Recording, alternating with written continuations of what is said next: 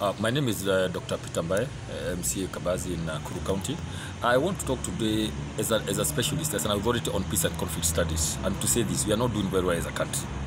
We are not doing very well when uh, there are situations of like tension, when some things happen, like what happens to the DP, you know, you cause animosity, you cause some kind of tension, and people are beginning to think, where are we going? What is happening? And I want to say this, that we have a nation to live for.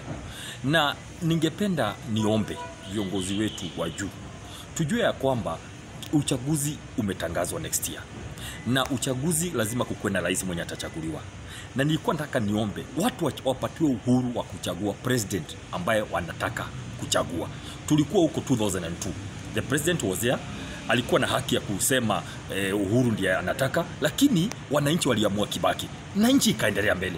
Tu- 2013 we were there Kibaki alikuwa amesema pengine itakuwa Mudavadi, lakini wananchi wakasema hao mnatuambia wako hiki Uhuru na Ruto au ndio tutachagua. Wananchi waka, wakaamua na tukaendelea. The same, the same, the same case.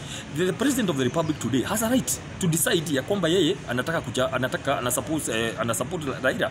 Hakuna shida, he has a right. Only that ebu wananchi waachiliwe wa, wafanye mambo yao na wachague yule mtu ambao wanataka. The only thing tunaomba kwa serikali na uongozi wa huko juu, kusikuwe ni mambo ya intimidation, kukuwe ni kama mchafuano, kukuwe ni kama harassment ya, ya, ya mambo ya uchaguzi, kukuwe na peace peaceful free and fair election. That is what we want as a nation. Na wengine kama sisi ninaomba tusiwekwe in a place where we have to choose between the president and the deputy. No. We have the president of the republic of kenya we have the deputy until next year august.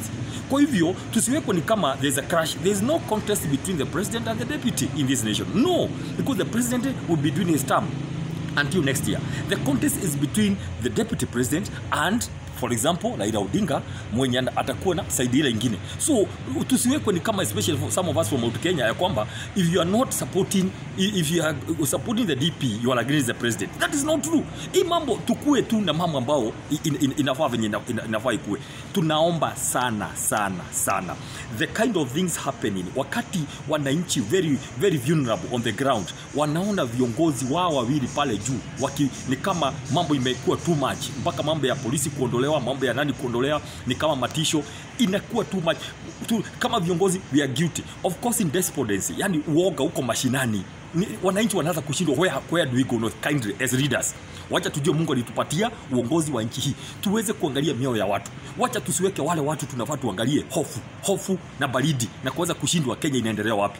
But finally i want to tell them with all sincerity na with all humility deputy president hakuna mahali anaenda. He will not make the mistake of trying to resign. Sisi ndio tulimchagua wakiwa na president as one ticket until next year. Hakuna mtu anatoka. Wao wawili wako pamoja na- baadaye tutachagua mmoja tutaendelea naye mbele